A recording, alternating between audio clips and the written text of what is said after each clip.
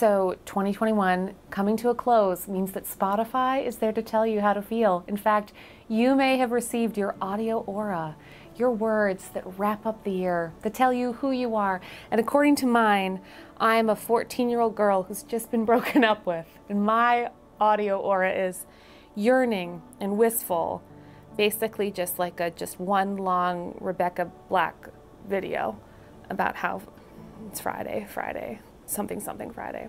Gosh, I really wish I hadn't seen that video. What was the rest of the lyrics for that? It was like Friday. If you have received your audio aura, you may have realized that you are not easily encapsulated by said words. You are not, for instance, energetic and calm or hyped and focused. You might be, say, devastated by the losses of the previous year and also joyful about possibilities in the future. The idea that we are more than one thing, more than two things, is not words that our culture gives us, especially since we typically tend to be crowded over on the like happy side of the emotional spectrum.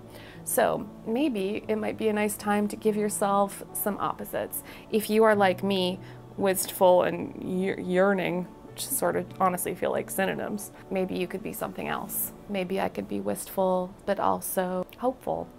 I could be someone who is in this moment working on constructing gingerbread megachurches uh, to, to pay tribute to the work I do on megachurches, but also uh, be um, spending a lot of time in the hospital and with friends who are sick. So let's give ourselves our both and, our wistful and our hyped, our calm and maybe not our focused, but in all things all of who we are. I want to know what words were given to you or what two words you would assign for yourself. And I would love it if they were not synonyms. Feel free to be all of the things. Let me know below.